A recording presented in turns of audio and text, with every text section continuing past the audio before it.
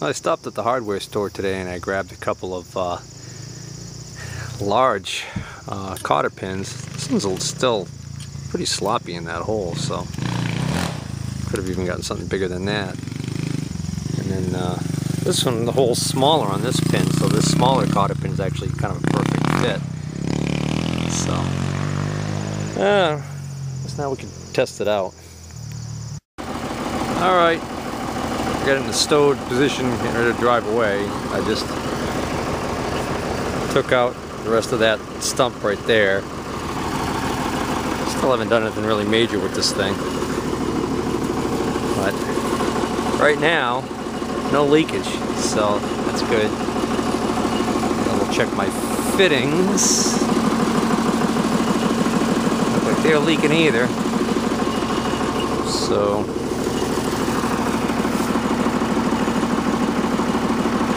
think the next thing I might want to do is I might want to uh, redo the handles here because I don't like the geometry and the weird angle that they're in. Well, I parked it. I'll go show you what I did. But before I head over there, I'll double check and yeah, still no leaks on that cylinder, which is good news. Well, first I, of course, I just pulled out the rest of what was left of that little stump that I had started initially before I figured the leak was so bad. And then just now I pulled out two stumps over here, small ones. And I definitely uh, put some stress on the machine doing that. Uh, pulling that stump out right there. These are probably, I'd say these are about uh, 10 inch diameter pine trees. Shallow root system, not that much to deal with. And what I discovered was when I would get a good uh, hook at the bottom of the stump, the machine just doesn't have the power to pull it out. And it's not a limitation of the, uh, like uh, something happening with the hydraulics. I think it's a limitation on the machine. I tried to use the dipper stick to pull out and that drags the whole machine backwards and this big mess right here and right here is where it actually just dragged the stabilizer legs right along the ground underneath the soil, plowed them in. So uh, that's part of the limitations of a backhoe attachment on a tractor as opposed to a dedicated backhoe which has the weight and the power to to do some more you know work like this more easily. So you know small jobs and digging a little at a time I think it'll be just fine but uh, it's not really going to be that good for uh, pulling stumps. And the other thing too is now you know I, I wanted to get these stumps out of here so I could I could mow. And the irony is the devastation left behind after doing the uh, the hoe work uh, makes it even less uh, less desirable to mow over here than before. So I think the better move is for me to just cut you know these stumps down flush with the ground as close as I can with the chainsaw which dulls the chain so I hate using chainsaws to do that but the, the fact of the matter is that if the stumps are low enough to the ground if I keep the cutter blade up high enough, I could just go right over them. So you can see there's a gaggle of them over there. There's all pine, small pine trees that I cut down, but I left the uh, I left about four or five feet of tree trunk with the thinking that I would be able to use the trunk as leverage and pull on the top of the trunk with the backhoe and maybe even uproot them that way.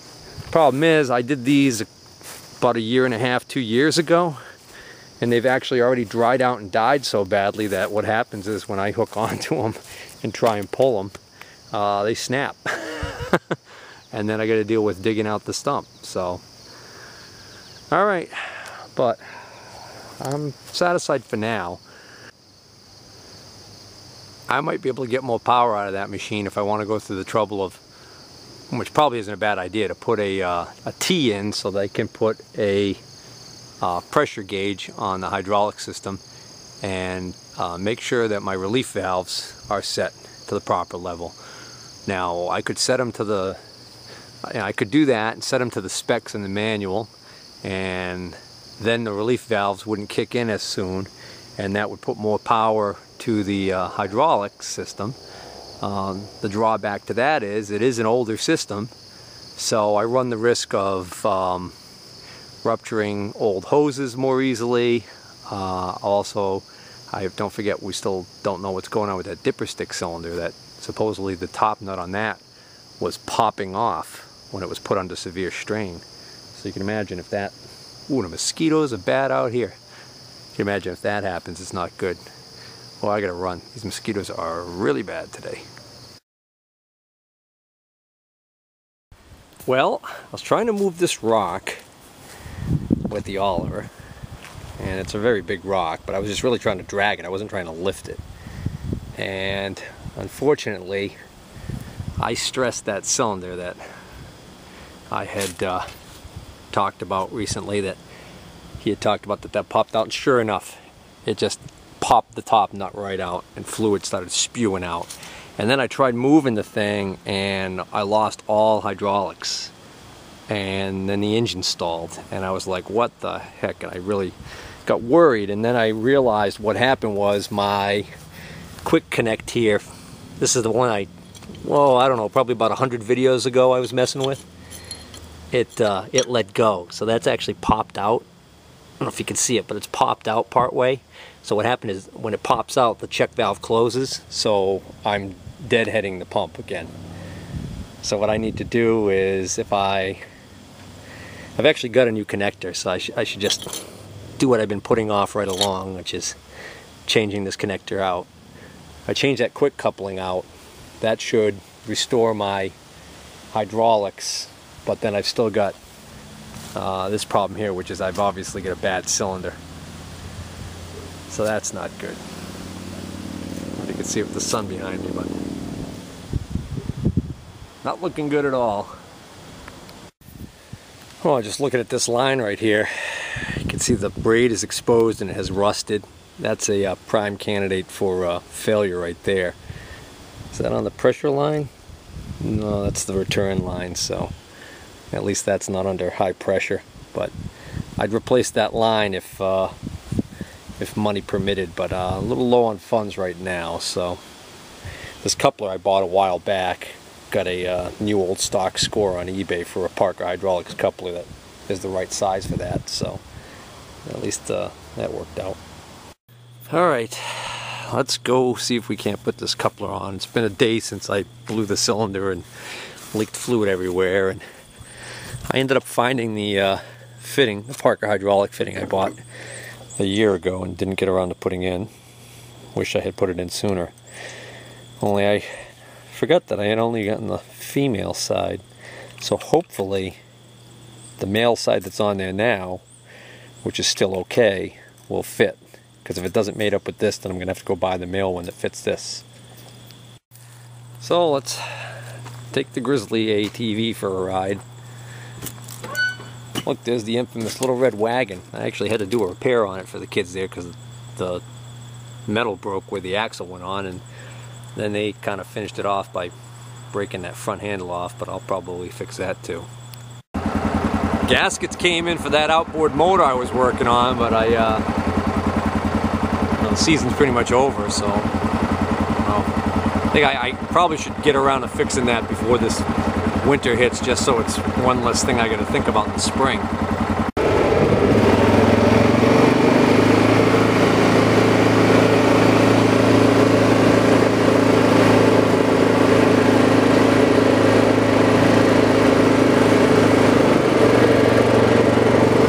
Parking spot for my projects. of course, there's the Oliver. There's one of the new boats newer boat acquisitions is the uh, 350 utility we gotta get back to.